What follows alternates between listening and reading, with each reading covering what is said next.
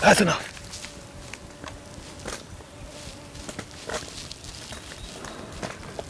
Get him, get him. Get out of here. That's high enough.